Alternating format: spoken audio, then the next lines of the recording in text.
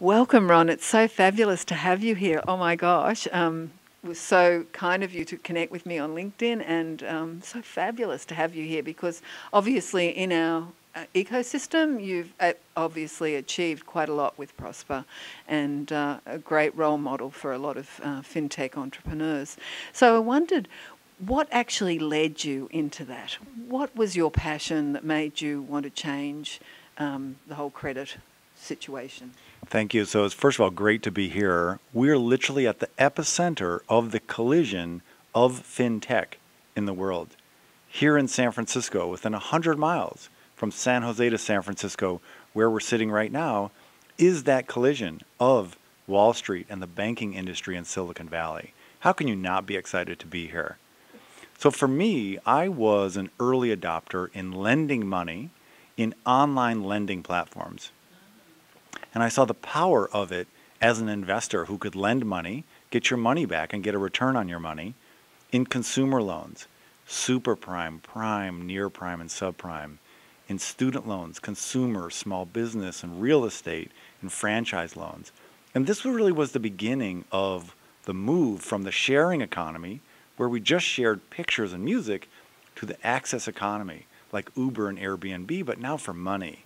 And so for me, it's early, maybe top of the second inning, and it's happening right here in front of us.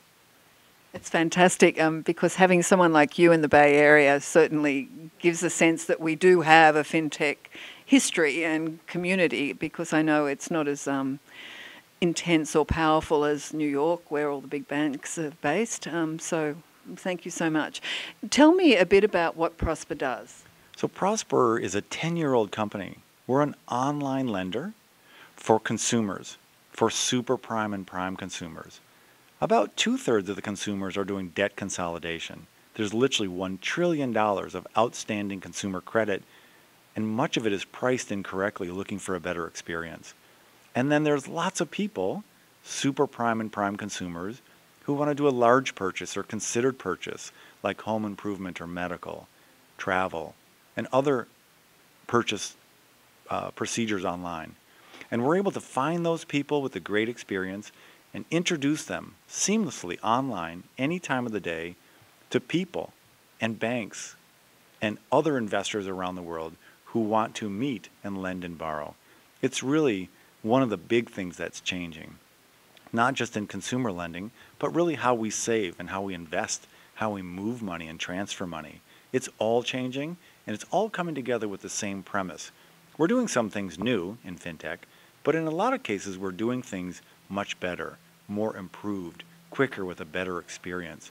But we're working with the incumbents, the incumbent financial institutions, banks and insurance companies, and the incumbent technology companies. It's not us or them, it's all of us together making this happen.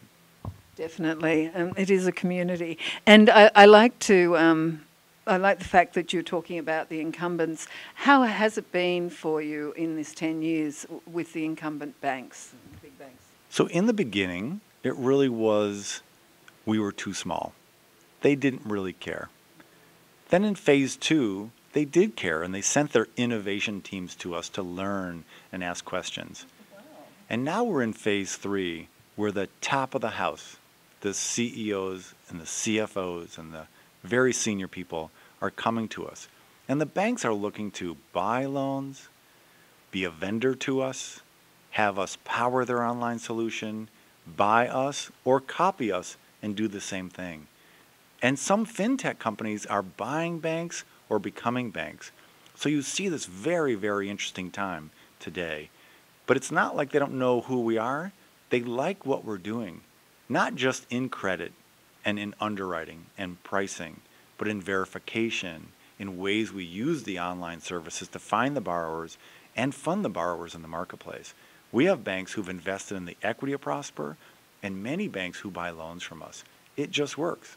Would you be able to tell me a little, um, a little bit about because you're actually made it through to phase three, most fintech startups always a start small. Everyone starts small. So, what was the secret sauce that you can look back on and say, this was the secret ingredient that helped you become from a small startup to now being a huge marketplace and having the attention of the big banks. What was that secret sauce? That's a great question. I actually was asked that same question at UC Berkeley this morning with uh. the MBA students. So think about Prosper. It's a 10 year old company. It took eight years in aggregate to do $1 billion of loans. It then took six months to do the second 1 billion, and now just a quarter to do a billion. And so we've done $9 billion in our history, but it took so long and I think the competition for early fintechs is not each other. It's not the tech companies, the incumbents. It's something we call E, A, and U, which is education, awareness, and understanding.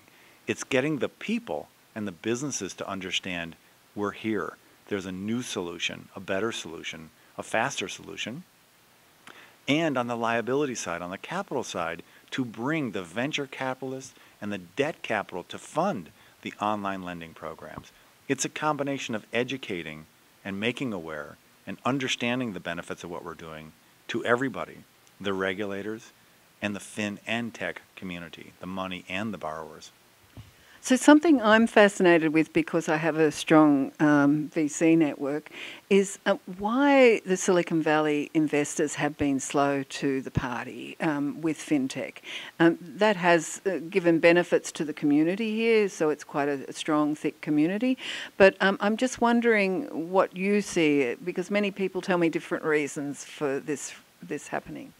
So I have worked with many of the VC companies also, and I also am invested in 16 other fintech companies around the world. Wow. And entrepreneurs need to explain in a very articulate way, without saying the words um, I mean, yeah, you like, and no, what is the value proposition? What differentiates you? Are you building a 100 year company? How does, the, how does this get profitable? What are the key performance indicators? What are the objectives and key results? How are you going to execute? What are you going to do with the money? Why is it that the incumbents can't crush you? How are you going to compete and evolve and pivot?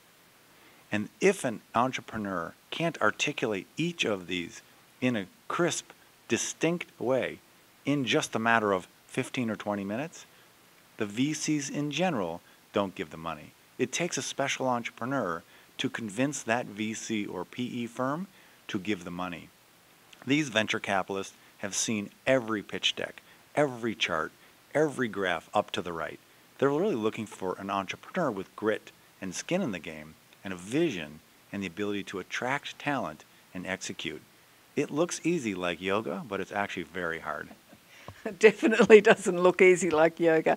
Um, and I, have always uh, thought that a lot of startups in Silicon Valley, uh, obviously startups come, startups go, it's a moving population all the time, um, that people don't pay enough attention to the engagement in a pitch. Now, I can see just from our conversation and feel you engage um, with what you say, whether it's something you've learned, but you're still engaging with the human being. Um, do you think that that's a that that's my theory that, that that's an important issue when you pitch to a, a VC? Would you agree with that, or would you want to elaborate? I think engagement is critical. So, a great entrepreneur, I mean, a truly great one, who's passionate and has a vision and is really committed to it, the fintech solution, can take a medium or great idea and make an enormous impact and a great, profitable 100 year company. But if the entrepreneur isn't really engaged, isn't really all in and aligned with the business and the investors, even a mediocre entrepreneur with a great idea, it doesn't work. And so there's so much about our IQ and our EQ, our intelligence quotient and that emotional quotient to see and feel nonverbal communication. And I think those VCs can see right through the entrepreneur, into their brain, how big is the horsepower, but really what's happening inside that entrepreneur. And the entrepreneur has to really, really differentiate themselves to get that VC to write that first check and the second and the third. And of course, um, there's a lot of uh, the VCs are investing other people's money in a in a startup. So obviously, there's got to be a sense of um, authenticity and trust um, in that person. So not only engagement, but some sense of um, substance within the human being. Um, would you agree with that? I do. I, I often meet entrepreneurs, and when I find that entrepreneur with conviction and the sparkle in their eye, who's had some issue in their life that they've been able to get around or over or under, someone who's seen the challenges, made the pivot, or has the ability to ask the questions how to get through the pivot, that's really what entrepreneurship's about. It is not a straight line. The highs are high and the lows are low, and they can be on the same day. And it's really about that person and their ability to deal with it, get through it, and then show up. I just gave a speech in Paris three weeks ago, and I compared us fintech entrepreneurs to Rocky Balboa because he trained and he answered the bell and he got hurt and he recovered and he was resilient. Even if you don't win, you have to be standing in the 12th round and go through each of the cycles and pivots of entrepreneurship. And I think that's what venture capitalists are looking for is that entrepreneur who's going to answer the bell, take the pain, pivot, and get to the final round and hope for the win. True grit, hey? Agree. Yes. Tell me, do you have a funny story in your in your career that's something that's happened to you that would um, help lighten uh, finish the interview? So the funny story that happened to me today is I was talking to these MBA students at Berkeley, and I told them that I went to Berkeley in 1982, and none of them were born yet. So for me, I realized exactly how old I really am today. It was quite funny. Well, uh, it's funny in a good way, though, right? so, um, because I'm sure that that 1982 uh, boy is still within you right now, right? He really is. I've actually been uh, joked and called the Tom Brokaw of the industry in fintech and in online lending, which again shows how old I am. But really, I'm trying to be that chief storyteller to tell about the opportunity and the challenges and the reality, but how early we are not just in North America, but in the Middle East and Europe and South America, and for sure in Asia. There's so much going on. What a great time, not just to be in San Francisco, but really to be in fintech. Well, you're a wonderful role model, and thank you so much for your contribution tonight. I'm so looking forward to this panel. Thank you for including me.